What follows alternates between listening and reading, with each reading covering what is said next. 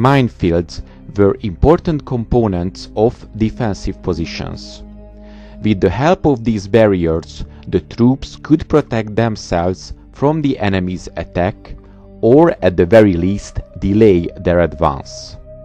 The growth of the role of the mines in the war led to the emergence of special devices in the German army intended for making passes in those barriers.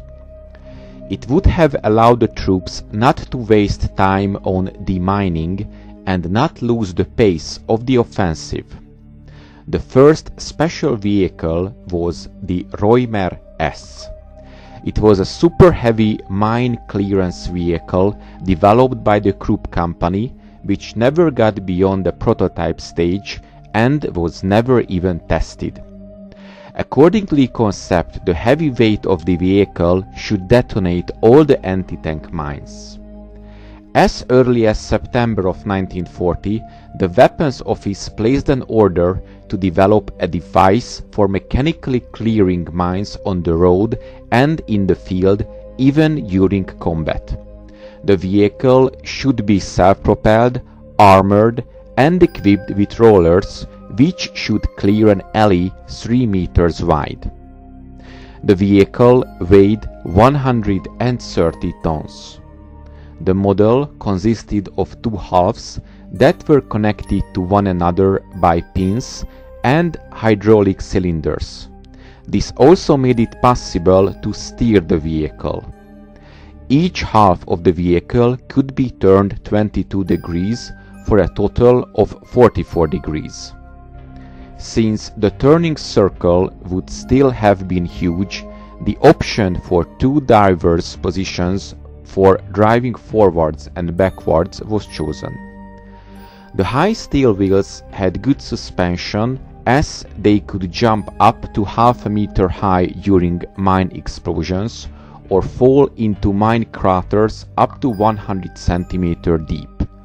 The ground clearance was between 1 meter and 2 meters. The thickness of the armor plates of the superstructure was only 25 millimeters.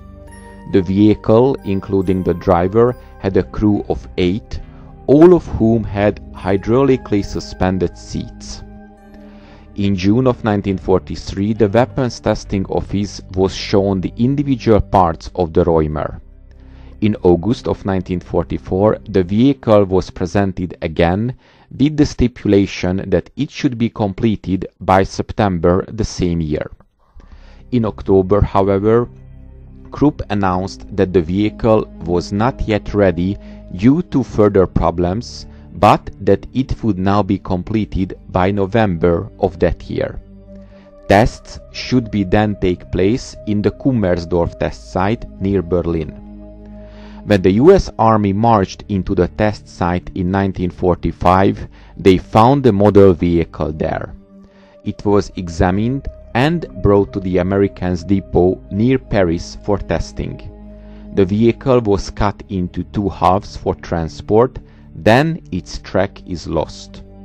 The American reports doubt that the vehicle was really intended for clearing mines as it only had 53 cm wide wheels. It was assumed that it should have been only the towing vehicle for a special clearing device. The next bizarre armored minesweeper was the Versuchskraftfahrzeug 617. Versuchskraftfahrzeug means test vehicle. Built in the Alket factory near Berlin, it was heavily armored and designed to detonate mines again by simply rolling over them. The three-wheeled vehicle's wide track was designed to clear a mine-free path for other vehicles. The hull of the vehicle was covered in variable shielding between 10 to 40 mm with a floor shielding of 40 mm designed to resist the explosion of multiple mines. The floor itself was reinforced by additional shielding of 20 mm inside the machine for another added protection. The first prototype was completed in 1942. The superstructure possesses a turret of the Panzer I tank which is equipped with two MG34 machine guns ensuring a close defense of the machine. But the production version would have a Panzer II turret with a single 20mm cannon and one MG34 machine gun. During these ground displacements, the changes of direction were accomplished by orientation of an aft wheel controlled by a system of chains actuated by a wheel. The mobility of the machine was ensured by two enormous discs on which heavy mobile shoes were fixed which were theoretically resistant to the explosions of all mines.